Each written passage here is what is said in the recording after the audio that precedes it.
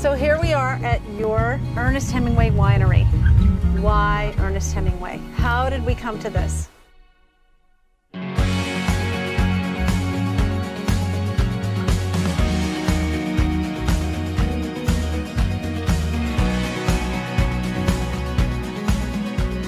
appreciate you guys all coming out today because the whole reason we put this together is to have indoor, outdoor space, and a place that's comfortable for guests to come in, bring their families. We have a lot of outdoor space here on grass and green areas.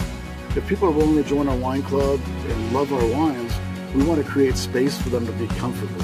As you saw with the with the new tasting room here, the same thing goes with the lounge, you know, with the couches and tables, and mm-hmm. pool Yeah, table, yeah. shuffleboard. The interesting and unique thing that we have here is when you come to visit us here, we're going to have Napa wines, Sonoma wines, as well as Central Coast and Paso Robles AVA wines. Okay. They're very unique. They're all single vineyard, single vintage, single varietal, which is very hard to find these days. Not only are we going to have the quality wine, but the quality packaging, and you know something that uh, will inspire people to read more about Ernest Hemingway himself. It's a feeling of history that you brought in with Ernest Hemingway.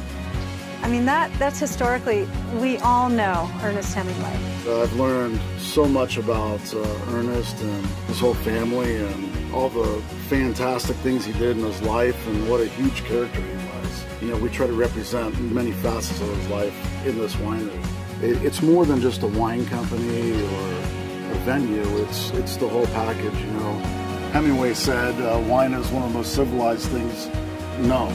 So that's kind of the way I look at it as well. Is wine is a universal thing to bring people together.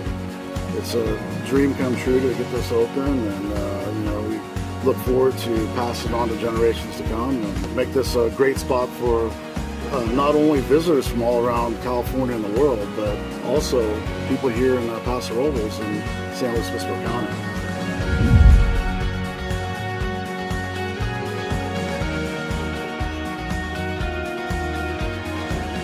Well, thank you so much again. Thank you for coming. For more information, go to artandwinemagazine.com.